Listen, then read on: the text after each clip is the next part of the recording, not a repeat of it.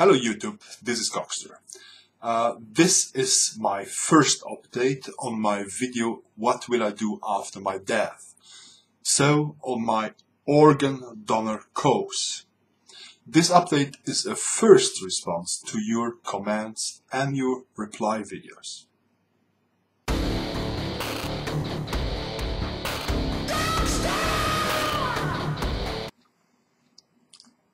I really wish that people look so clear and rational on this cause as Rozeboosje did it in his video response, so link below.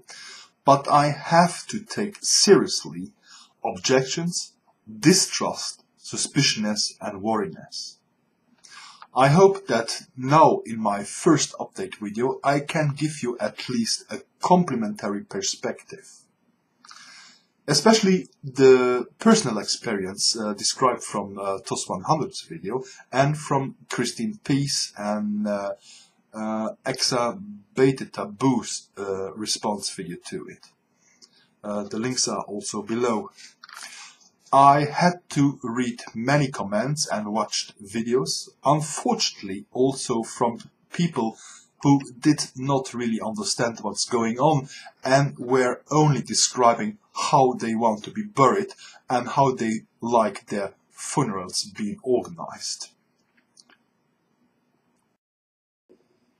Some of my old subscribers know already what was my work in my active life.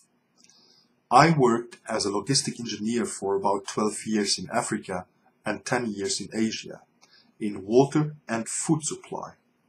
This was for refugee camps, humanistic missions, and it also happened that I organized transport for the need of different NGOs like UNICEF, Médecins Sans Frontières, and the WHO.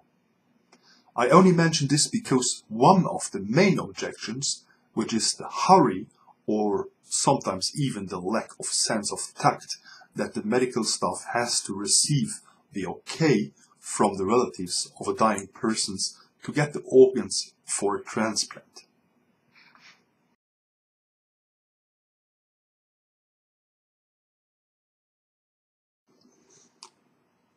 Sorry today for the bad pronunciation, but I have since my very early childhood a chronic sinusite and now the trees are bleeding outside it's spring and it caused me some problems.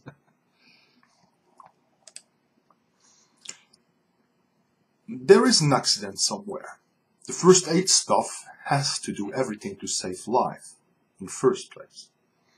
They normally have to look in your purse to find out if you are allergic against medication or if maybe the accident happened because you were in a coma shock due to diabetes. That what they find out now by reading your papers will help them to choose the right manner to give you the best possible help. The goal is now to stabilize you and bring you as fast as possible to the next hospital. Now we are here in a situation I will discuss in a later video. Namely, if some life-keeping actions have been taken, nobody has now the right to make them undone. In this case, this would be active euthanasia.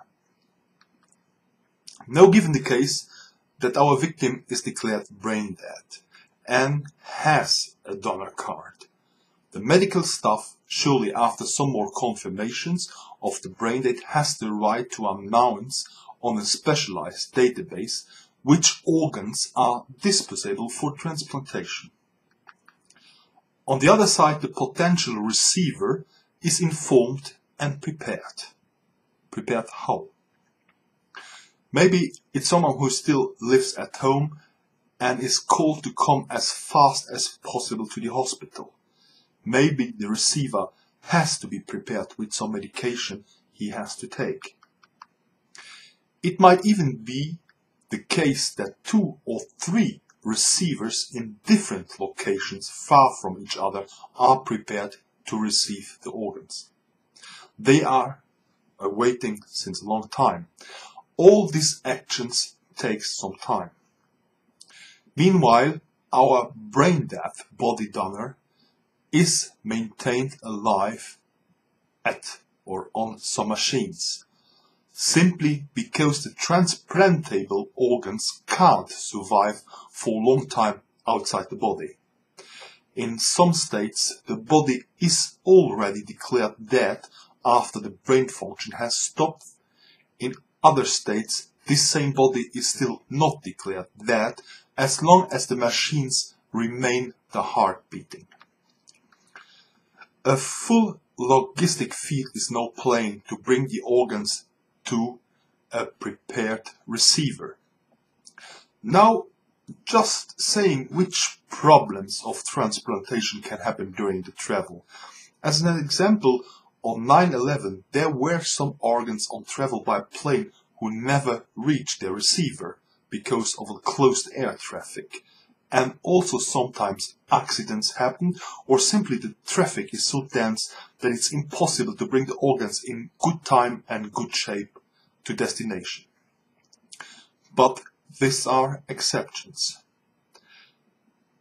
As you can see here in this situation, there is no major problem. Let us now take a case as described by TOS 100. There is a person going to die or is brain dead. Other people decide what has to happen with him. Because he don't has done a card nor has expressed his living will. The doctors asked the family if they would agree to give the way free for transplantation. If so, tests have to go on to see if the organs are in a state to be transplanted. What is the difficulty here? On one side, we have a family who lost their husband, father, mother, or even worse, the child. On the other side, there are people whose life depends on these organs. Can you see the dilemma on both sides?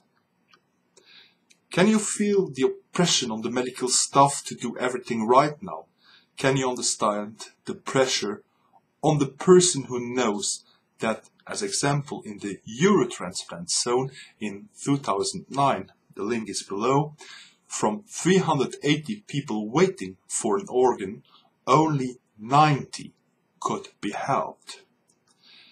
In such an oppressing situation, the pious and the flair might something not be that big as expected from the relatives. And we are maybe in a situation that our donor's body and only the body is maintained for some time artificially alive. Yes, the relatives of the donor might be shocked by the necessary procedure. Why does this happen? It happens because only fewer than 20% of necessary organs are available. It happens because so few people has a donor card. The solution to this is simple. Become a donor and make the transplantable organs more available. This will also take away the pressure from the doctors to convince someone to become a lifesaver. This was my first update. I'm waiting for your comments and your video answers for a second update. I will lead you in future videos a little more in the direction of your self-determination and to the manner how you can make sure your last will will be respected. It will also be necessary to make a little excursion uh, through the palliative medicine. I watched today a video from Scouse XS, which I also link here, about some big problems in the palliative treatment of people in England, but probably also in your area. Let me close with a touch of humor and let you see what the Monty Python's view on organ donation is. This will be my last link below. I wish you all peace and a good and healthy life. Ciao ciao, this was Goxster.